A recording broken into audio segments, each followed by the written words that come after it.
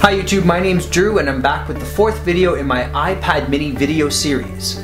Today we're going to learn how to play software, games, applications um, such as Diablo 3 or Final Cut Pro X from your computer on your iPad mini. In order to do this, you're going to need obviously a desktop or a laptop computer. It doesn't have to be Macintosh.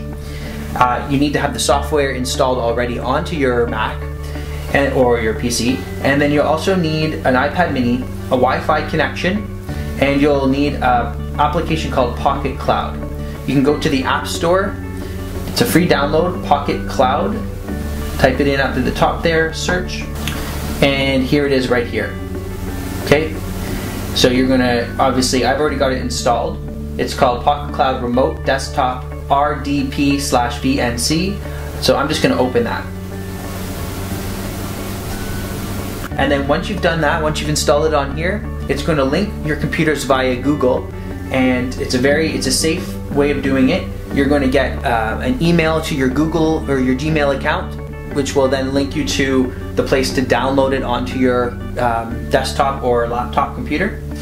And then what you can do is you can just turn it on your computer here, Pocket Cloud. It starts up, you'll see a little icon start up at the top of your computer here. I'm going to say I'm signed in there now. It says signed in. And now I can connect. I need to input my password from my computer on here.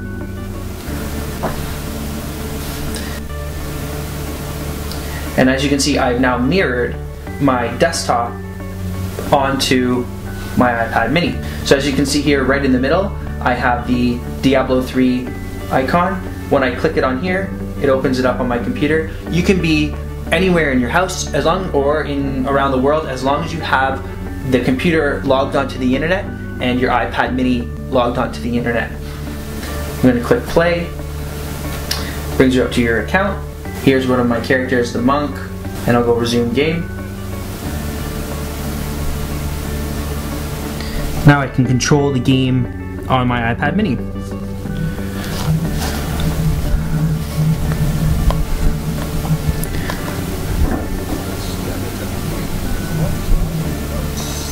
So it is a bit slow and a bit choppy, but still pretty uh, pretty sweet. You can run Diablo 3 or any other software you'd like to on your iPad mini. I'll show you just quickly with the Final Cut Pro as well. And here I am doing one of my videos, which is pretty cool. You can edit it. Obviously it takes a little bit longer, it's a little slower, but it's still pretty smooth. Thanks for watching. If you want to watch my next video in the iPad mini series, please subscribe.